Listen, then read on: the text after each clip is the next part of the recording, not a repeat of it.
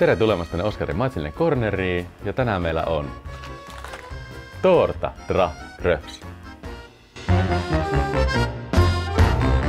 Just tää tuota, yr- yritysnimi oli, tai mikä tämä nyt lafka nyt näitä tuottaakin, Remedy Way. Help from Nature. Nyt on niinku aika semmoista niinku kansainvälistä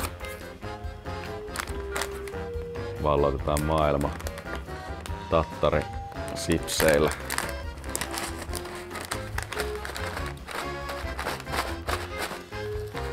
Wow. Nämä on tämmösiä niinku kolikoita.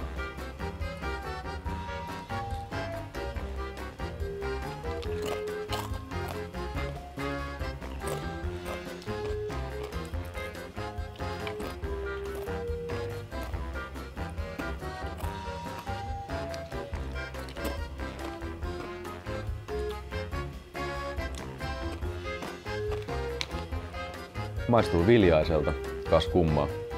Mutta kyllä tuo tattarin maku on, siinä on mukava se ominais, ominaismaku.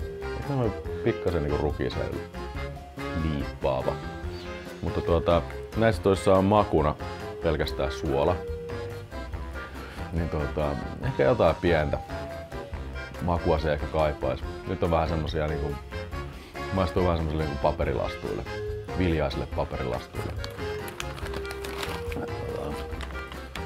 No ei, siis näissä on kuitenkin aika paljon potentiaalia, niin tämmöistä, jos lähdetään tre- terveystrendejä hakee luontaisesti gluteenit on joo.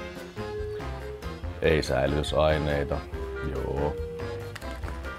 Käsitöö. Käsitöö. Kokonaisarvio. Perussipsi. Ok trendiarvo.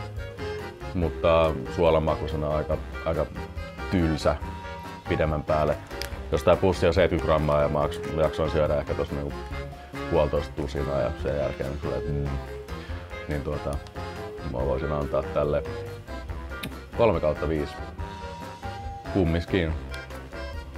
Mutta jos maustettuna löytyy, niin hyvä, hyvä pohja.